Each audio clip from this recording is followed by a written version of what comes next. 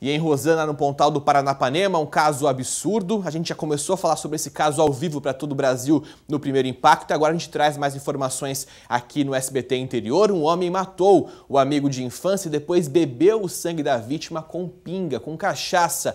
Rubens Nakato ao vivo tem as informações pra gente. Um dos maiores absurdos que eu já vi nos últimos tempos aqui na região, Nakato. Conta os detalhes dessa história pra gente agora para toda a região. Bom dia. Bom dia, Casagrande. Bom dia a todos que acompanham o SBT Interior. Pois é, né? Viram aí que caso mais absurdo, bárbaro mesmo, esse homicídio que aconteceu em Rosana, no Pontal do Paranapanema. Esses dois amigos de infância estavam ali num barracão, numa fazenda, né? Eles vieram do Paraná lá para Rosana para trabalhar lá na colheita da mandioca.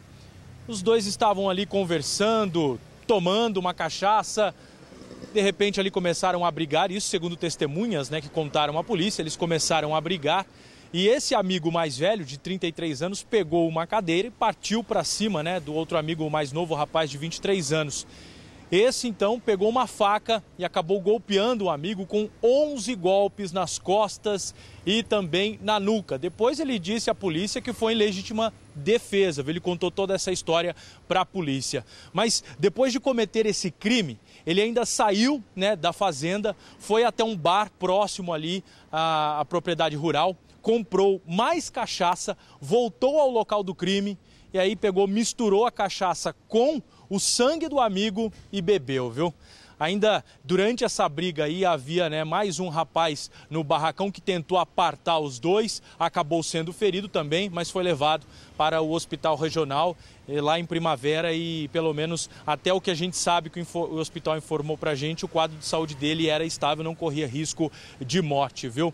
E testemunhas, né, contaram isso à polícia, né? Inclusive esse rapaz aí que acabou sendo ferido também disse depois, né, aos policiais o que aconteceu e só depois disso também que a polícia ficou sabendo desse crime tão chocante, não é mesmo?